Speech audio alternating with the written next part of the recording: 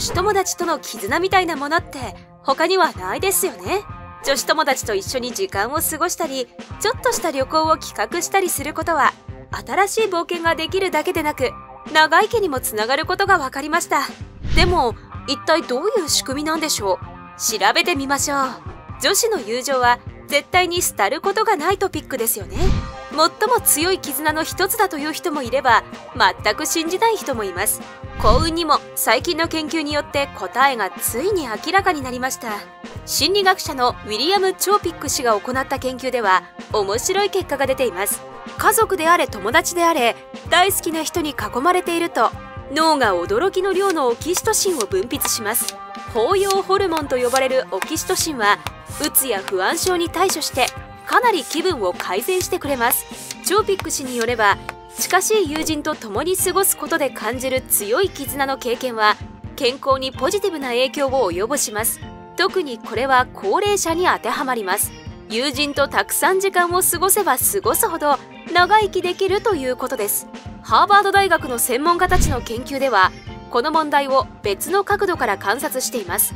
人生における信頼できる強い人間関係の欠落は喫煙肥満運動をしないことと同じくらい健康と幸福に悪影響を与えることが分かりました。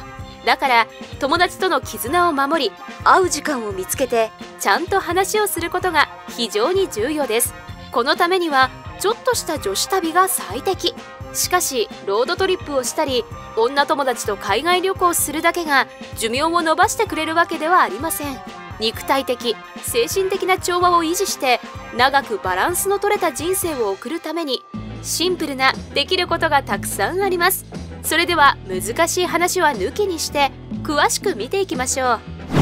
1コーヒーを飲む。コーヒー中毒の人に朗報。あなたのお気に入りの飲み物は実は寿命を延ばしてくれます。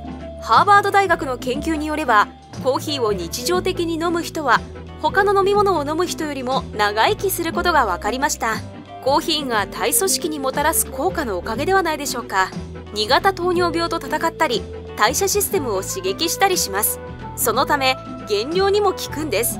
コーヒーを好きになる理由がまた増えましたね。2ウォーキング。スポーツがあまり好きではないならあなたにとっておきの解決策日常的な散歩です。欧州心臓病学会の研究によれば毎日25分間早歩きをするだけで3から7年寿命が延びます。ウォーキングにはランニングと同じ健康メリットがあります。心臓病糖尿病がんなどの病気に対する体制を体が作ることを手助けします。さらにこのように日常的な運動をすると体型を維持できます。それっていいボーナスですよね。3瞑想。瞑想は頭を空っぽにして体を落ち着かせるための素晴らしい方法です。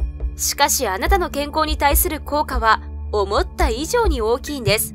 カリフォルニア大学の研究では毎日瞑想を行う瞑想リトリートが細胞の損傷や加齢から体を守ってくれる酵素を飛躍的に増加させることが明らかになりました。これが示すことはただ一つ。体が時計のように動いて長生きできるということです。呼吸をしたり特定の音や音楽を聴きながら瞑想することもできます。精神的にも肉体的にも健康的でいるために定期的に行うことを心がけましょう。4睡眠。寝るのが好きではない人なんていませんよね。体をリフレッシュして力をつけることができます。こうすることで人間は朝また新しい一日を迎えられるわけです。しかし健康的な睡眠量にはもう一つの効果があります。長生き。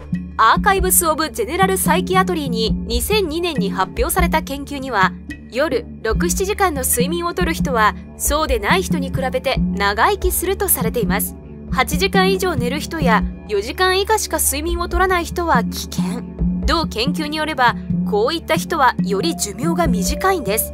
睡眠パターンに注意して長く幸せな人生を送りましょう。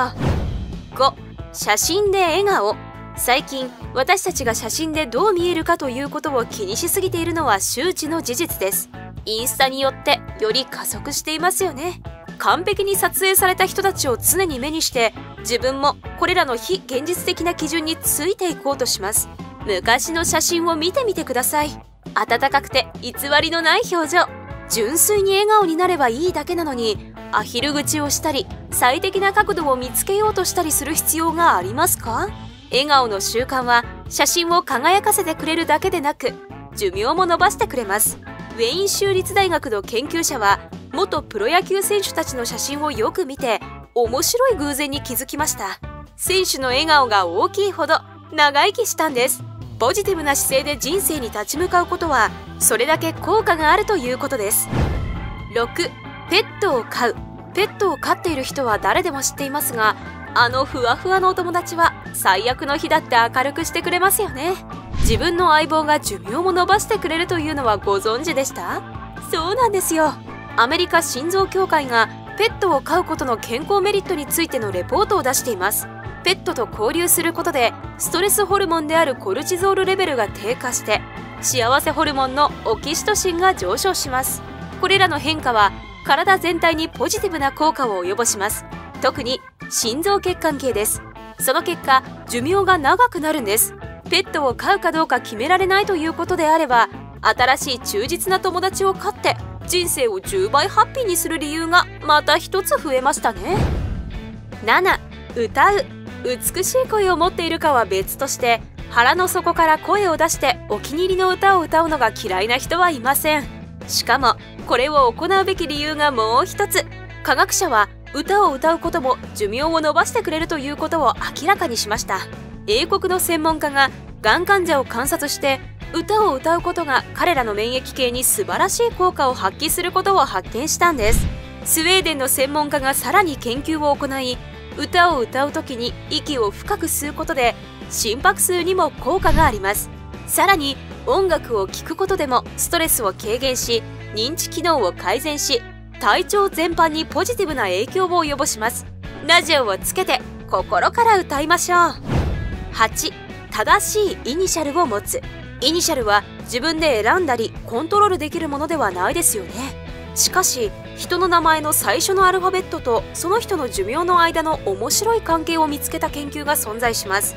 カリフォルニア大学の研究者はたくさんの名前を研究してワオやビップなどのポジティブイニシャルの人はネガティブなイニシャルを持つ人よりも4.48年長く生きることを明らかにしました。親からもらった名前でも大きな違いになるんですね。ほとんどの日本人にはミドルネームがないから関係ないですけど。皆さんのイニシャルをコメントに書いてどれが一番かっこいいか決めましょう。9ボランティア。ミシガン大学はボランティアと寿命の関係を見つけることを目的とした面白い研究を行いかなり強い関連性があることが明らかになりました。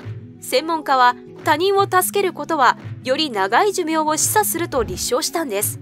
しかしここで重要なことがあります。このルールはお返しに何かを期待せずに私欲のない理由で行う場合にのみ当てはまります私たちは誰だって世界を少しだけいい場所にすることが可能です。